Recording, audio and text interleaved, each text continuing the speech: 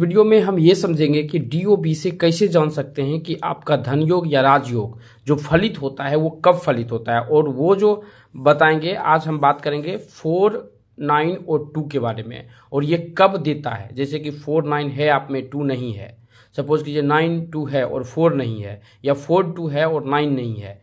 तब ये कब फलित होगा? आज हम उसी के बारे में बात करेंगे। और वर्ष जैसे कि अगर हम वर्ष के बारे में बात करते हैं तो 2024, 25, 26, 27, 28, 29, 30 और इसी प्रकार जो है आप अपना निकालना चाहते हैं तो 2040 तक का निकाल सकते हैं कि कब कब ये फलित होने वाला है।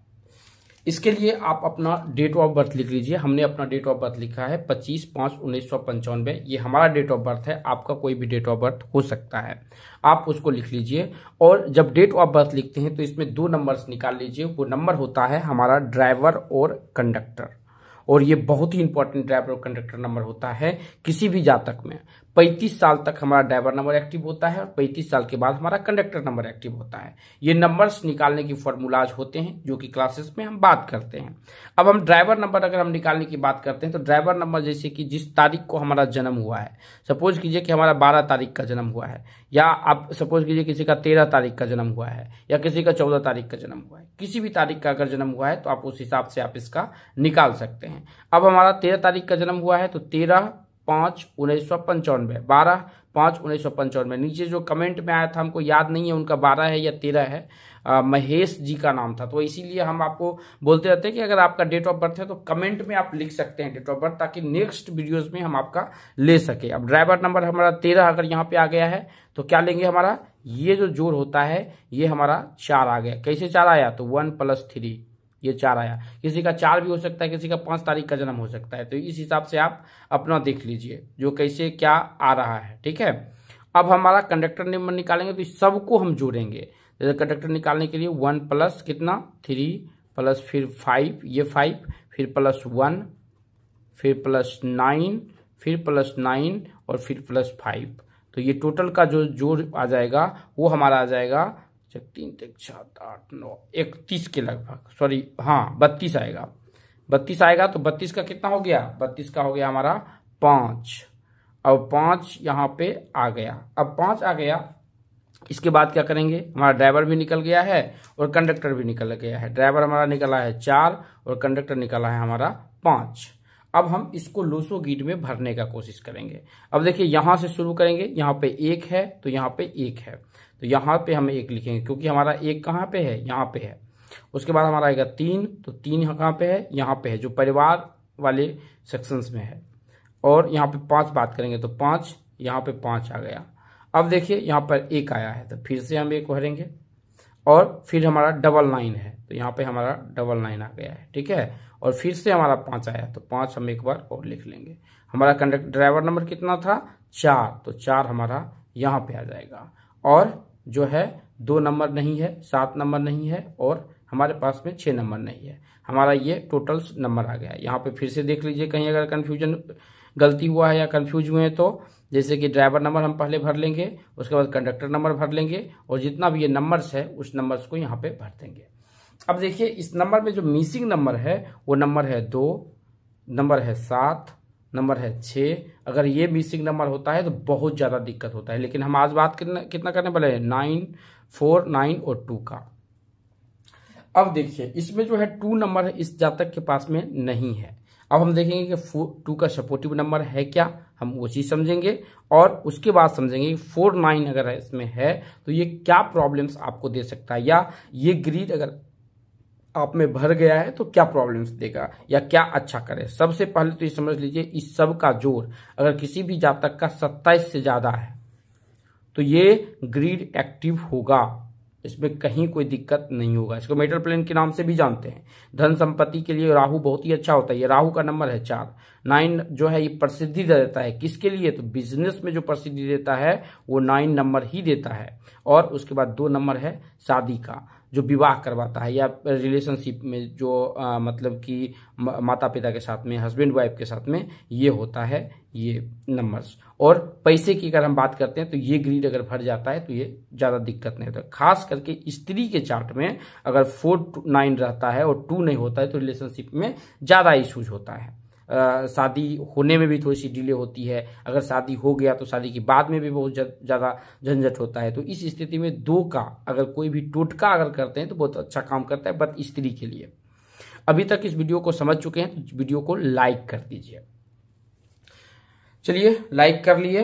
अब हम आगे बढ़ते हैं। अब देखिए, वर्ष के हिसाब से यहाँ पे दिया हुआ है, जैसे कि सूर्य, चंद्रमा, मंगल, राहु उसके बाद गुरु, शनि, बुध, केतु और शुक्र। इसमें जो है ना, एक एक महीने का है, लेकिन यहाँ पे देखते होंगे कि ये 28 दिन में ये एक्टिव हो गया है। 28 दिन ज़्यादा है। इसमें जो है 18 दिन ज़्यादा है, इसमें 27 दिन ज़्यादा है, इसमें 21 दिन ज़्यादा है। तो इसमें आप कंफ्यूज मत होइए। क्यों कंफ्यूज नहीं होना है? क्योंकि राहु जो है, वो 28 दिन ज़्यादा लेता है। तो जब हम मंथली निकालेंगे तो यहाँ पर ये चीज़ ध्यान देंगे कि 28 दिन जो है, इसका ज़्यादा होगा ही होगा। आप कुछ भी करिए। तो जैसे कि सरे साती है तो सरे साती जो है अगर किसी भी कर्क लग्न में होता है तो वो सरे साती तीन महीना तक आगे जाता है चार महीना तक आगे जाता है। तो इसी प्रकार ये अठारह दिन जाता है ज़्यादा शनि सत्ताईस दिन आगे जाता है और बुध जो है इक्कीस दिन जा, आगे जाता है। इसलिए ये थोड़ा सा आगे गया है एक महीना आता है। ये लगभग दो महीने के बराबर में होता है। वर्ष के हिसाब से हमने यहाँ पे लिख दिया है एक छः आठ ग्यारह आठ नौ दस सात आठ। अब देखिए, अगर इस ग्रीड की बात करते हैं तो धन संपत्ति की बात करेंगे तो यहाँ पे 2008 में अगर बात करेंगे ना तो इसमें, इसको आठ में देखिए, ये ग्रीड है क्या? नहीं है। हाँ अगर इस ग्रीड खास करके इस ग्रीड की बात करते हैं, अगर इस ग्रीड में किसी भी जातक का आठ होता तो पैतृक धन संपत्ति में प्रॉब्लम होता। यहाँ पे आठ नहीं है, लेकिन अगर आठ होता तो पैतृक धन संपत्ति में प्रॉब्लम होता। लेकिन अगर आठ होता तो संपत्ति के लिए बहुत अच्छा होता। प्रसिद्धि, क्योंकि पाँच डबल मास्टर नंबर बना रहा है। अगर इस नाम, आदमी का जातक का नाम छह पर भी होता, आप देख लीजिए आपके साथ में छह है क्या? अगर छह है तो प्रसिद्धि भी दो हज़ार चौबीस में मिल सकता है। शादी की यहाँ पे बात नहीं करेंगे, क्योंकि स्टेबिलिटी के लिए यही नंबर काफ़ी है। दो नहीं नंबर रहने के बाद भी ये बहुत अच्छा करेगा तो शादी में प्रॉब्लम्स नहीं होगा। और अगर ये तीनों ग्रीड है तो पैसा आ सकता है हंड्रेड परसेंट लेकिन वहाँ पर दो दो चीज़ देखना होता है। देखिए, यहाँ पे ये ग्रीड अगर आपका भर चुका है ना, जैसे एक भी है, चार है तो ये प्रॉब्लम भी क्रिएट करता है किसी भी जातक में। या यही उल्टा अगर बन गया है आपके चार्ट में, यही उल्टा अगर बन गया है तो ये भी चार्ट में जो है, ये प्रॉब्लम क्रिएट करता है। देगा सब कुछ, लेकिन संघर्ष करने के बाद देगा। अब नौ की बात करते हैं तो यहाँ पे 2025 में बात करेंगे ना तो नाइन जो है मास्टर्स नंबर है डबल फाइव जो है मास्टर नंबर है। कहीं भी अगर आपके चार्ट में सिक्स नंबर अगर आ चुका है, अगर ये सिंगल सिंगल बार भी है, लेकिन नाइन डबल बार होना चाहिए, क्योंकि एक सेंचुरी का नाइन है। तो डबल बार है और ये डबल बार फाइव आ गया है। तो ये 2025 ये तीनों चीज़ 2025 में भी देगा। प्रसिद्धि भी देगा, शादी भी देगा और पैसे की जहाँ तक की बात करेंगे तो पैसा तो देगा, लेकिन ये हेल्थ इशू ज़्यादा देगा। ये बात याद रखिएगा। खास करके लड़की में तो और ज़्यादा देगा। ठीक है? अब हम बात करते हैं एक में तो एक का रिपीटेशन पे ध्यान दीजिए। एक का रिपीटेशन कितने बार है? पर्सनल ईयर एक में ये सपोर्ट नहीं करेगा। तो ये जो है, संपत्ति के लिए थोड़ा सा निगेटिव करेगा। ये प्रसिद्धि देगा यहाँ पर क्योंकि ये इस चार्ट के लिए प्रसिद्धि ज़रूरी है, यानी कि इस चार्ट के लिए प्रसिद्धि देगा। शादी में यहाँ पे इशूज होगा। यहाँ पे इशूज होगा, क्योंकि हम आपको रूल बताए हैं, जो कि रूल है एक नंबर का, जो एक नंबर दिग्वली कब होता है। या तीन नंबर दिग्वली कब होता है? तो इस चार्ट में देखिएगा तो ये दिग्वली तो तीन नंबर नहीं है, क्योंकि दिग्वली का फॉर्मूला होता है कि चार पाँच अगर आपके चार्ट में नहीं है तो तीन नंबर दिग्वली होता है। हम बहुत से एग्ज़ाम्पल में भी हम आपको क्लास में बता चुके हैं। तो यहाँ पर ये दिक्कत शादी में थोड़ी सी दिक्कत दे सकता है। पैसे के लिए अगर ये तीनों ग्रीड है आप में, या अगर ग्रीड नहीं भी है, अगर सपोज़ कीजिए चार बार नौ है और चार एक बार आ गया है या दो भी आ गया तो सत्ताईस से जोड़ उसका ज़्यादा ही होगा। तो इस स्थिति में इशूज नहीं होगा। सत्ताईस आपके फेवर में नहीं रहेगा, क्योंकि दो नंबर जो है यहाँ पे नहीं है तो सत्ताईस जो है आप भूल ही जाइए। संपत्ति के लिए भी, प्रसिद्धि के लिए भी, और शादी के लिए भी, और मैरिज के लिए पैसे के लिए भी, क्योंकि यहाँ पे दो नंबर नहीं है। अगर दो नंबर है तो फिर ये आपके सपोर्ट में करेगा। इसमें कहीं कोई दिक्कत नहीं है। अट्ठाईस की बात करते हैं, इसका ज़ोर तीन है। तो यहाँ पर एजुकेशन की स्थिति अच्छा हो सकता है, ठीक है? और शादी इसमें ज़्यादातर जो है आदमी नहीं करना चाहिए, क्योंकि बृहस्पति का रोल जो है, अगर 2028 की बात करते हैं ना तो इसमें बृहस्पति का है। बृहस्पति आप में, इस चार्ट में जो है, बृहस्पति अच्छी स्थिति में है। तो शादी नहीं के हिसाब से पैसे के लिए ये सही है, क्योंकि पैसा कभी भी बृहस्पति जो होता है, बृहस्पति आठ महीना है यहाँ पे। तो चार महीना जो है, खास करके वो निगेटिव देता है और आठ महीना ये पॉजिटिव देता है। ठीक है? तो यहाँ पे आठ महीना ये लिखा हुआ है। दो की बात करते हैं तो ये तीनों चीज़ देगा आपको। संपत्ति भी देगा, प्रसिद्धि भी देगा और शादी भी करवा सकता है और पैसा भी दे सकता है। उसमें कहीं कोई दिक्कत नहीं है। अगर हम बात करते हैं 2030 की तो 30 की इसकी चार्ट, इस चार्ट के हिसाब से देखेंगे तो 2030 का ज़ोर कितना है? पाँच। पाँच स्टेबिलिटी में है, लेकिन यहाँ पर ये तीनों नंबर अगर बना रहता, ये भी रहता क्योंकि यहाँ पे ये चीज़ बना हुआ है, ये नंबर्स नहीं है। अगर इसमें दो में नाम उम अगर दो से अगर आ गया है, तब तो ठीक है पैसा के लिए। शादी के लिए भी ठीक है, प्रसिद्धि के लिए सही नहीं है, ठीक है? प्रसिद्धि दे अगर भाई तो ज़्यादातर हेल्थ इशूज दे देगा ये। और संपत्ति के लिए आप अच्छा बोल सकते हैं कि प्रॉपर्टी अगर बनाना चाहते हैं तो इस साल में आप बना सकते हैं, उसमें ज़्यादा प्रॉब्लम्स नहीं होगा।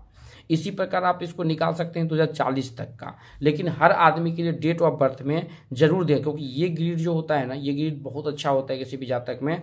और अगर ये ग्रीड नहीं भी भरा है ना तो आप देखिए कि सत्ताईस से ज़्यादा है क्या? और सत्ताईस से अगर ज़्यादा है ना तो राहु का याद रखिए। राहु राहु का रूल हम एस्ट्रोलॉजी में भी बता चुके हैं। तीसरे का राहु, छठे का राहु और इलेवेंथ का राहु। अगर पॉलिटिक्स में है तो दसम का राहु। किसी भी जातक को करोड़पति बना सकता है। और अगर चार एक बार है तो शेयर मार्केट में भी, भी अच्छा रिज़ल्ट लेकर देगा।